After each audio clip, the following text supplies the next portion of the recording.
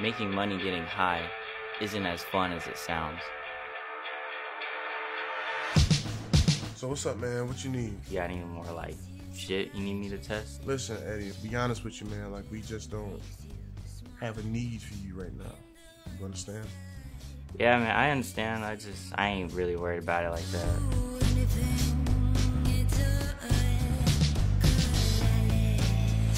Hey.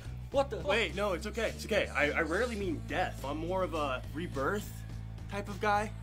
You know, but you got big changes coming for you, man. Where the fuck have you been? I was at Alley's for God, Eddie, you gotta get your shit together. We're tired of you bumming around. You have to do something with your life. What's up, bitches? Man, shut the fuck up, Jay. Y'all still walking? I just got this new bitch off the lot. Bro, isn't this your baby mama's car?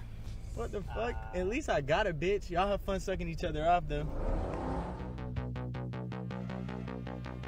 I've got an opportunity for us. Well, what is it?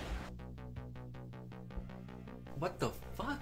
Oh, so this is what you meant by an opportunity then? Exactly. That's great. That's a fantastic fucking idea, Mikey. Until I don't know, his supplier definitely fucking notices. Listen, Oscar's supplier was this dude named Thomas Crown.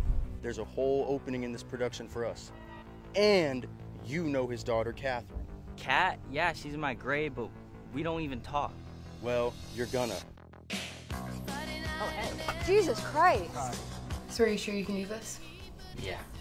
I'm not sure if I hope you're right or not.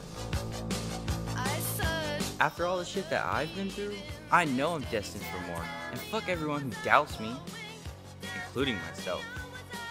Don't break my trust, Eddie. It'll be worse for you than for me.